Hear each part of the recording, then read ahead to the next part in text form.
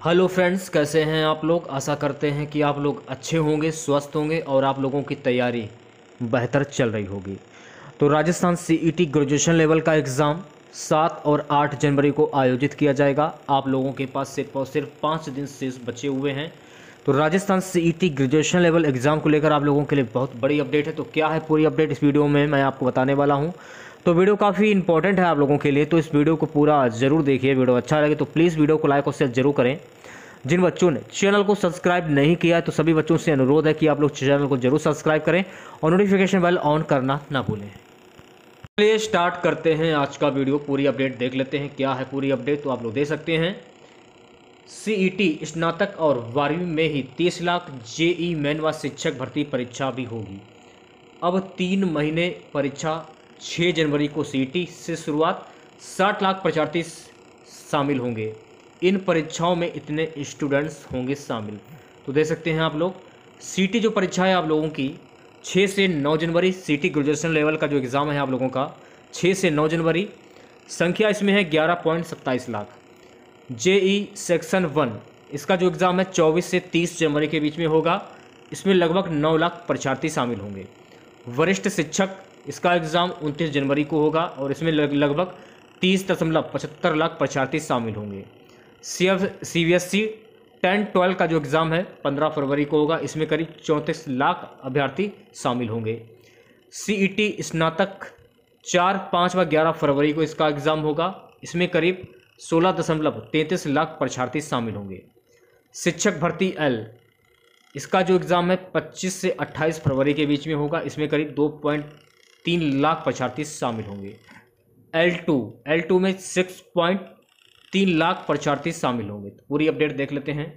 नए साल की शुरुआत के साथ ही प्रदेश में परीक्षा का दौर शुरू होगा। शुरू के दो महीने, जनवरी और फरवरी में बड़ी प्रतियोगी परीक्षाएँ हैं। इनमें पचास से अधिक परीक्षार्थी शामिल होंगे, पचास लाख से अधिक। साथ ही सीबीएसई व राजस्थान बोर्ड की परीक्षाएँ भी होनी है। इनमें दस लाख से ज़्यादा स्टूडेंट्स हैं। परीक्षा की घड़ी छः जनवरी को कॉमन एलिजिबिलिटी टेस्ट सी से शुरू होगी। इसमें करीब ग्यारह लाख उनतीस हज़ार परीक्षार्थी शामिल होंगे। इसके बाद 24 से 30 जनवरी तक जेई मेंस परीक्षा का जनवरी सेशन होगा। इसमें करीब 9 लाख स्टूडेंट्स शामिल होंगे। परीक्षा में सीईटी, बारहवीं स्तर और प्राथमिक शिक्षा विभाग में लेवल वन और लेवल टू की परीक्षा होनी है। इसी बीच 15 फरवरी में सीबीएसई, दसवीं और बारहवीं की बोर्ड की परीक्षाएँ शुरू होनी है। इनमें बड़ी संख्या में स्टूडेंट्स शामिल होने की संभावना है। जेई मेंस की परीक्षा छोड़कर सभी परीक्षाएँ ऑफलाइन होनी है। प्रशासन के लिए ये परीक्षाएँ करवाना चुनौतीपूर्ण होगा। सफल आयोजन, बड़ी चुनौती। एक्सपर्ट्स देव शर्मा का कहना है कि पिछले दिनों राजस्थान लोक सेवा आयोग की वरिष्ठ शिक्षक भर्ती परीक्षा का पेपर लीक हो चुका है। ऐसे प्रशासन पर यह परीक्षाएँ करवा लेने का दबाव रहता है। लीक पेपर के बाद रद्द परीक्षा उनतीस जनवरी को होगी। इसमें तीन लाख चौहत्तर हज़ार परीक्षार्थी शामिल हो रहे हैं। इधर एसडीएम सिटी ब्रजमोहन बैरवा का कहना है कि परीक्षार्थियों को लेकर तैयारी, परीक्षाओं को लेकर तैयारी पूरी कर ली गई है। पूरी सतर्कता के साथ परीक्षा होगी शिक्षकों को रहना होगा मुख्यालय पर।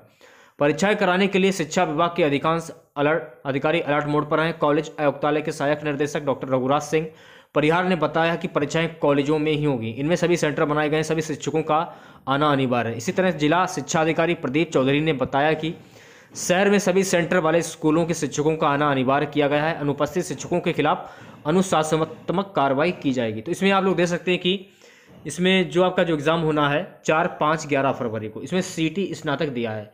इसमें सीटी स्नातक नहीं होगा, सीटी इंटर लेवल का एग्ज़ाम होगा, चार, पाँच और ग्यारह फरवरी को। लेकिन इसमें दिया है कि सीटी स्नातक, लेकिन सीटी स्नातक का एग्ज़ाम जो है आप लोगों का सात और आठ जनवरी को होगा। तिथियाँ जो दी गई हैं इसमें, तिथियाँ बिल्कुल गलत हैं। तिथियाँ ये जो दी गई हैं, तिथियाँ बिल्कुल गलत हैं तिथियाँ, ठीक है? तो छोटा सा वीडियो था आप लोगों के लिए, वीडियो अच्छा लगा हो तो प्लीज़ वीडियो को लाइक और शेयर ज़रूर करें।